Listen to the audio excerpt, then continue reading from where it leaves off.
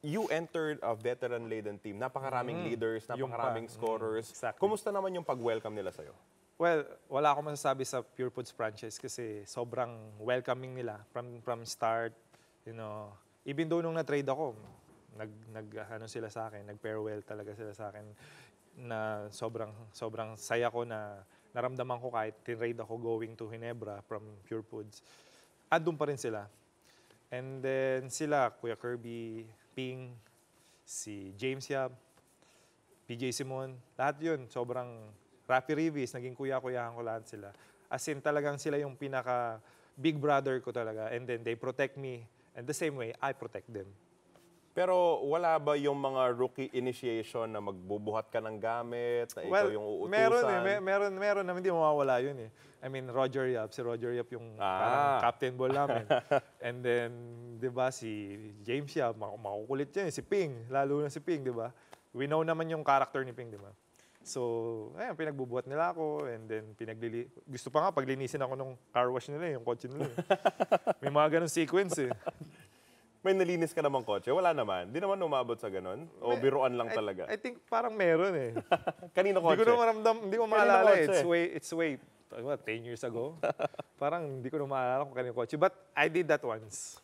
So after being traded from the Pure Foods franchise, uh, what kept you going? Ano yung ano yung gusto mong ma-achieve pa playing for other teams in the league? Well, we won the championship, of course. Siyempre, malipat ako sa Ginebra. And then we know naman Ginebra, di ba? Parang lahat naman yata ng basketball player gusto mapunta sa Ginebra. And then, I don't know that. And then nung sequence na yun, na gusto pala nung iba lahat ng Ginebra, but I don't really want to get traded that time. But siyempre as a player, kasama ng career mo yun eh. It's not really up to you. It's really, it's sa, sa, sa management, sa team, sa performance mo. Yun ang basis nun eh. So, nung na-trade ako sa Enebra, I feel na mag-champion din ako sa Enebra. Although hanggang finals lang kami. Yun lang, sa lahat ng San Miguel team na napuntahan ko, ang sobrang frustration ko lang is hindi ko na-champion yung Ginebra. Pure Foods and San Miguel. Kasi sayang. Oo Oh, nga, sana na, per, na perfect per ko sana MB for per three teams, SMC no? team. Diba? Sarap siguro nun, diba? And then of course, uh, your stint in the in the PBA also reached its end. Pero hindi nagtapos doon yung pananalo mo ng championships. You were able Mm. to join the ASEAN Basketball League playing for Ala Pilipinas, yes, San sa Miguel Ala Philippine Pilipinas. Tapos nanalo ka ng championship. Again. Kumusta naman yung pakiramdam nung kayo yung nagta-travel all over the region, sinasalubong kayo ng napakaraming Filipino basketball fans? Yes, you know, representing Philippines. Kasi before yung Gilas number one, ho- dapat kasama ako eh. Nagpa-trade lang ako. I mean, I, cho- I chose to go straight sa PBA instead of going to Gilas. And then, isa, isa yun sa mga mga hindi ko nagawa Mga as a what if basketball mo. player. What if ko. And then, nagkaroon ako ng chance and then Charlie D, my manager, called me na ah, may, may spot kami for big man sa ABL, San Miguel team. And then, that time, hindi ako nag-hesitate. Sabi ko, yeah, sige. Sabi ko, hindi ko na kinausap Charlie. Sabi ko, pa-practice na ako kinabukasan agad. I will go there, I go straight sa practice. Kasi, representing the Philippine team, sobrang sobrang rare na opportunity. And then, syempre, kalaban mo yung mga ibang country. And then, they represent their country, we, I represent my country.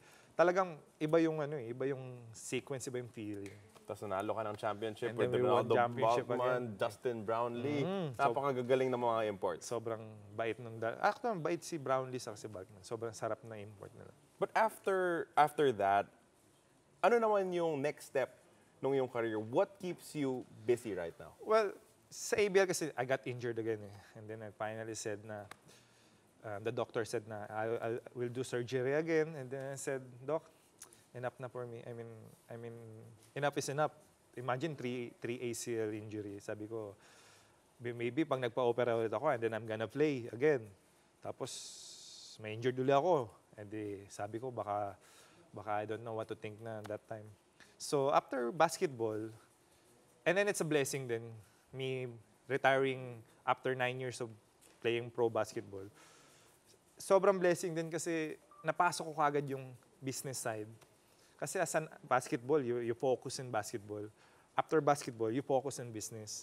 So, yung pinasok kong business, sobrang convenient and sobrang fortunate ako kasi San Miguel industry pa rin na napasukan ko. Imagine lahat ng team ng San Miguel na puntahan ko. Pure Foods, Tatlo sa Ginebra, PBA, tapos nakapag-alab ka pa. And then Alab Pilipinas pa. And then after that four teams na napuntahan ko ng, Pure, ng San Miguel Corporation, San Miguel din yung business ko. Integrator ko sa San Miguel ngayon. Like where we have partnership sa business ko. And then it's doing well naman. Sobrang blessed ako kay for Ramon Ang, kay Boss Ramon. Kasi Boss Ramon Ang talagang sobrang sobrang sobrang blessed ako kasi nakilala ko siya from start. And then lagi kami magkasama before sa office niya. May meron kaming mga sequence na ginagawa si Boss Ramon for the players eh. Kaya kaya napapansin mo laging champion yung San Miguel Corporation kasi Nagmumula doon sa pinakataas. nagmumula sa pinakataas. And then sobrang blessed kami kasi si Boss Ramon, siya mismo yung nag-aano sa bawat player.